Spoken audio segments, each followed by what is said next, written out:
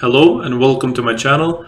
I am Ali and in this video I'm going to be using Timelion in Kibana to plot the bandwidth of a FortiGate firewall interface. In a previous video I used a Python script to run um, API requests to the firewall and grab the bandwidth data and send it to Logstash and from Logstash parse that data and send it to Elasticsearch for uh, storage. And the purpose I was doing this is to have accurate bandwidth information for longer periods of time using um, or taking advantage of the Elasticsearch uh, capability of searching and storing the data. Something to note is that you need to have FortiOS 7.0 and newer. This API is not available for um, older FortiOS versions. And you can refer to my last video to watch how I uh, got the data from the FortiGate and sent it to Elasticsearch. So under Discover, this is the index I am uh, using. Um, it's a small index and every document has a timestamp and these two fields, last RX or last received uh, bandwidth value in bits per second and the last TX, last transmitted. So it's like the downloads and the uploads. And I'm going to be using a Kibana feature to add the total bandwidth by using a runtime field or a scripted field. And I'll call it the total bandwidth. And it's just the, uh, the addition or summation of these two fields. So I'm going to uh, stack management and under Kibana data views. This was called index patterns. Um, under bandwidth, our data view, I'll go to scripted fields. I'll add a scripted field and I'm going to call it total bandwidth. And the language is this painless scripted uh, scripting language. And the way you access the value of the documents or the value of the field is with this format. Document, some field, dot value. Uh, so the field last rx dot value plus last tx. So we'll have a new field, not indexed in Elasticsearch. This is just uh, in Kibana. It shows up in Kibana when you look at the data. So it's called total uh, total bandwidth, and it has the the value of these together. Create field. And now after I created the total bandwidth, I can see it here under discover. And this is a field that is just the summation of the last Rx and last Tx.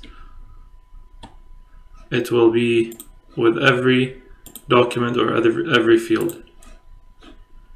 Now if we go to visualize library and create a visualization.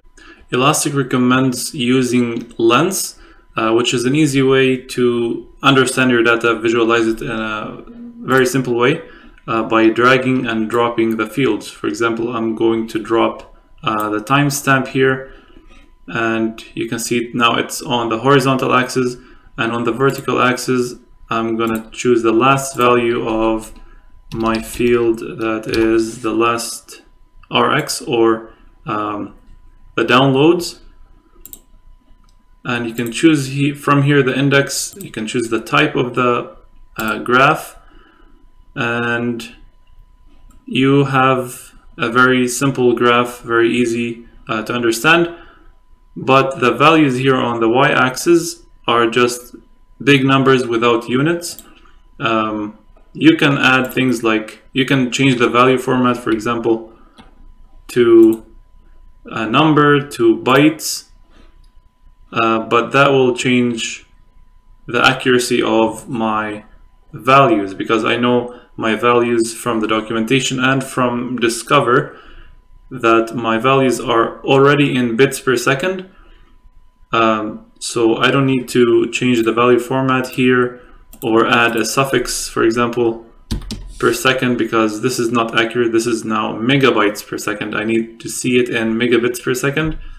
Uh, so that's why I will be going to Timelion and not using Lens. And the one I'm going to pick is under aggregation based and it is the Timelion. And the reason I'm using Timelion is because of the customizations I, I can do with it. Uh, you can uh, customize the labels, the titles, uh, and most importantly, the units on the y-axis because my data is in bits per second. Uh, I will show you here. So by default, Timelion uh, uses expressions or like functions dot .es or dot .elasticsearch is grabbing data from Elasticsearch and star is just all the indexes. It's counting all the documents in all indexes.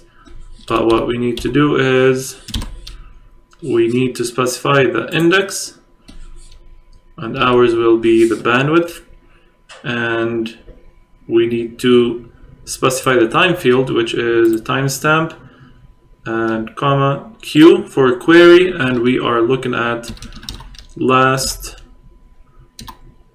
rx field colon star. So all values say comma and we need to specify the metric.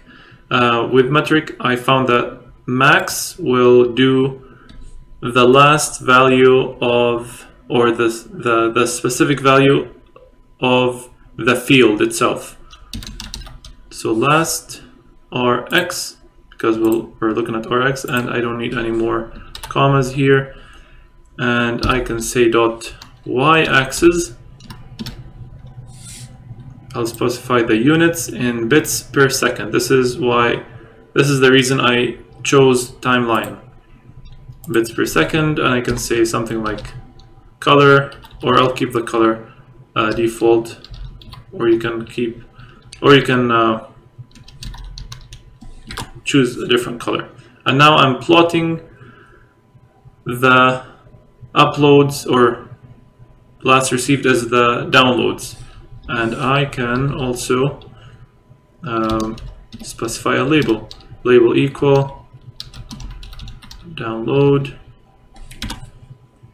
And now I have a label and when I hover over the graph, it will give me the value. And now, if I want to graph the last tx values, or the uploads, all I have to do is say comma, and instead of writing everything again, I'll just copy, paste, and instead of rx, I'll say tx.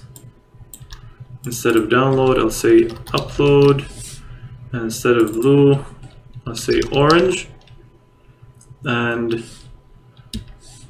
you can uh, press Control Enter on the keyboard or click here Update.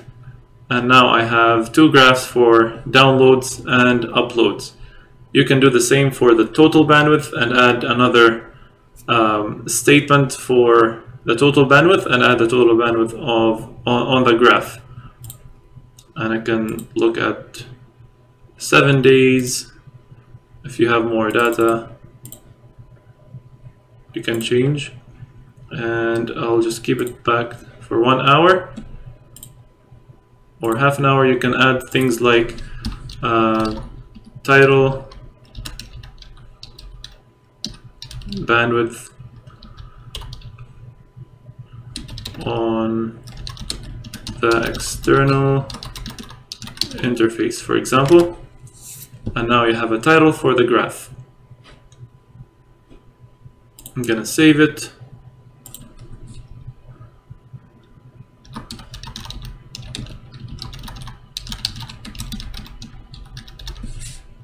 And I will add it to my FortiGate traffic events dashboard. I'll save and go to the dashboard and it will be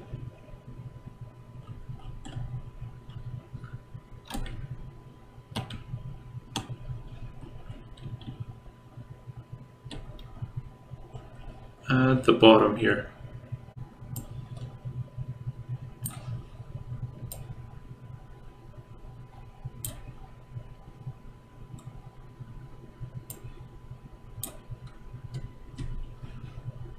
I'm going to save the dashboard and switch to view mode.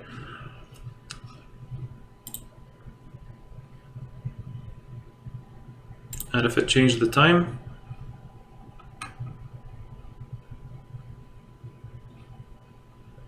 everything will update on the dashboard. I hope you enjoyed this tutorial. If you have any questions, let me know in the comments. Uh, please like and subscribe if you want to see more of these tutorials. Uh, thank you for watching and I will see you in the next one.